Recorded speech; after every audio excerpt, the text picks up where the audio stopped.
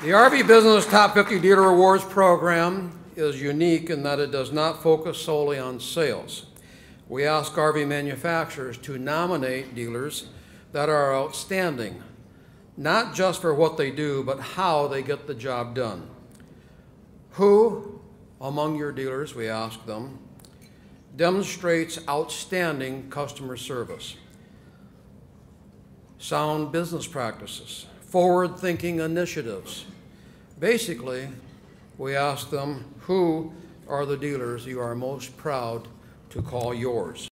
Lifestyle RVs gathers shop staff every fall for walk-through role playing and evaluation to ensure quality and consistency. After walkthroughs, technicians take customers through the parts department and receive commission on what they sell.